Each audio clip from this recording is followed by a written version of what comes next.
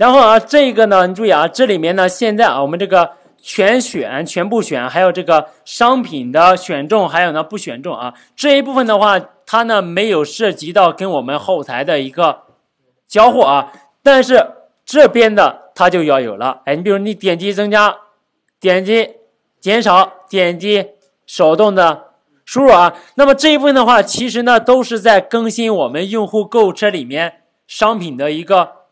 数量啊，其实呢，这里面这个功能呢，增加、减少和删除都是在更新购物车中商品的数量啊，哎，更新我们哎购物车它的一个记录。那么现在你就要考虑一下啊，我们首先说我们前后端交互的时候，对吧？第一点你要获取这个，你要去判断我们的前端它呢采用什么方式啊？去给我们的后端呢发起这样一个请求，那么这里面我一点击的时候，这个页面要不要跳转？不跳啊，不跳的话我要使用什么？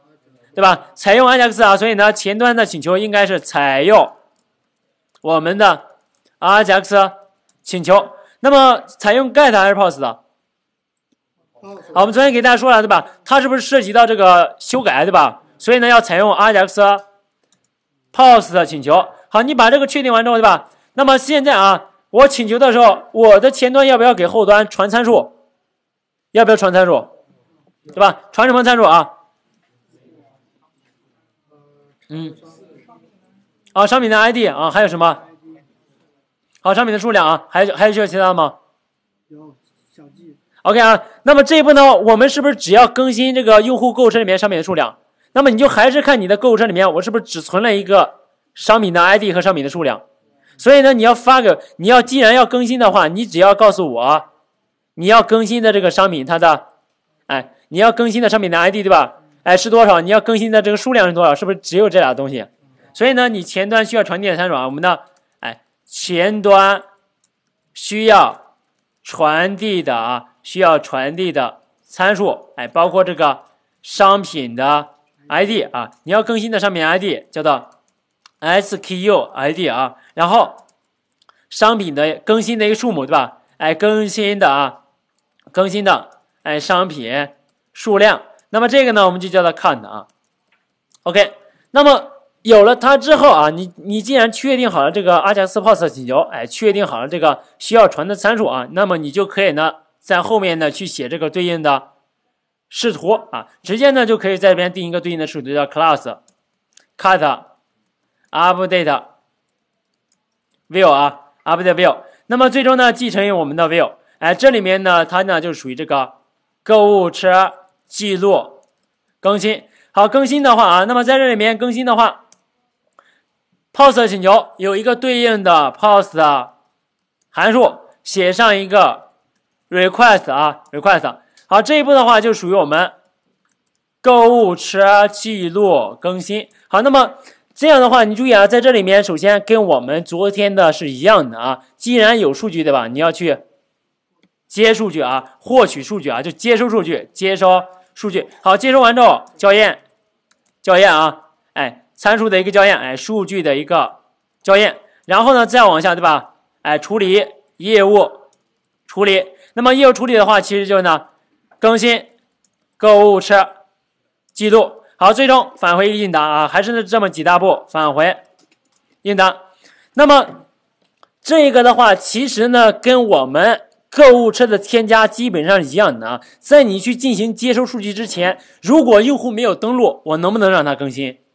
对吧？所以呢，你还是要进行这个用户的一个校验啊，且还是要进行用户登录校验，是不是就是他？然后呢，紧接着啊，你看一下啊，你把它拿过来之后，放在我们这个函数的。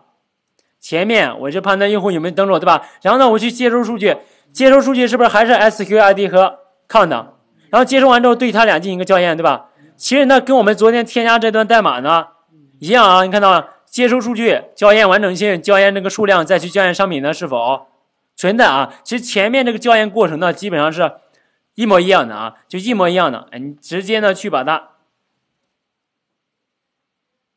好，哎，我们把这个呢整体呢往前去缩进一下啊。这里面看到没有？接收完数据，对吧？校验完整性，校验这个数量，再去校验这个是否存在。然后下面呢，当我把数据校验完之后，我就可以呢去进行这个业务的处理。核心的逻辑啊，就首先先去拿到这个链接 connection 等于我们的 get res connection 写上一个 default 啊，然后写拼接出对应的 k cut k 等于我们的 cut，然后下划线百分号 d 百分号 user 点 id 对吧？OK 啊。那么我现在要更新，我这不更新的是我要更新的是这个哈希里面的谁呢？是不是就这个 SQID，对吧？更新完之后，哎，我我直接呢，我们就可以呢进行一个更新啊，哎，更新其实呢就是 connection。那么你设置的话，其实呢还是使用这个 h set 函数，我要设置它里面的 count，对吧？哎，count cut k 里面的这个属性是谁呢？属性就应该是这个 SQ 的 ID，对吧？我要设置它的值为什么呢？为我们的 count 对吧？这是不是更新？但是你注意，你在更新之前啊，我需要呢去看一下，你要你要我更新的这个数量，它大不大于我上面的库存啊？所以在前面校验商品的库存啊，如果对吧？如果这个 count 啊，如果 count 大于我们的 SKU 它的这个 stock 的话，说明商品库存不足，返回一个 JSON 啊，return JSON response，哎，来上一个 res 呢为。